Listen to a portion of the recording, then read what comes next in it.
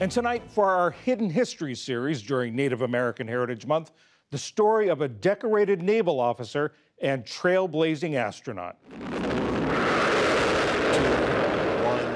and liftoff of Space Shuttle Endeavour. In 2002, when John Herrington became the first Native American in space, he carried with him pieces of his heritage, including the flag of the Chickasaw Nation.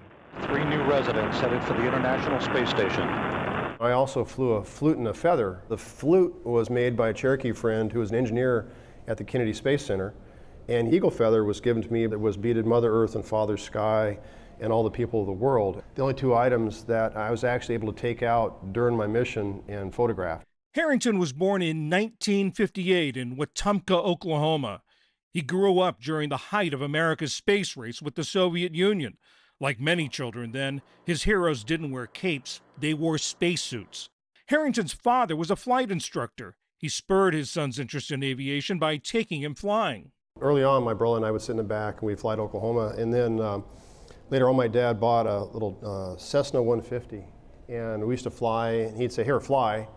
And I'd fly, and he'd lean over me and take pictures out the window. He graduated from college in 1983 and went to the Navy's Aviation Officer Candidate School.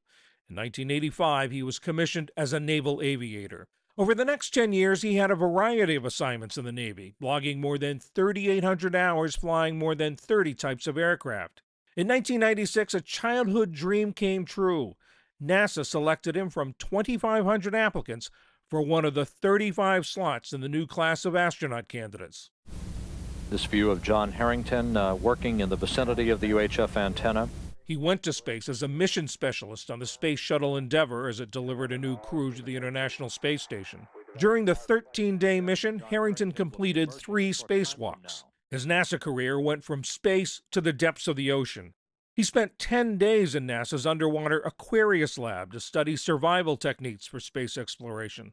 For his achievements, Herrington is in the Chickasaw Nation Hall of Fame and the Oklahoma Aviation and Space Hall of Fame.